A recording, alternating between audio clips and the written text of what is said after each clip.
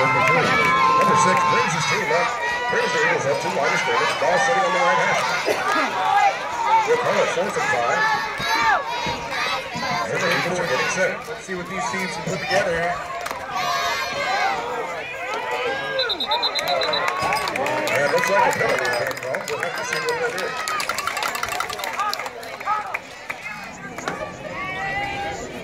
They already know this route. Uh.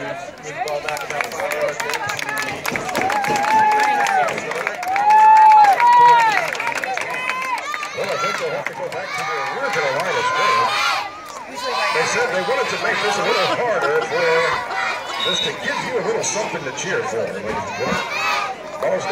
right hash mark. Ball sitting at the 34 yard line. Call it fourth and ten.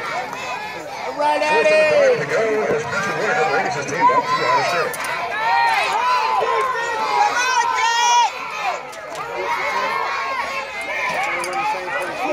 Get him, Jake. Stop him. Come on.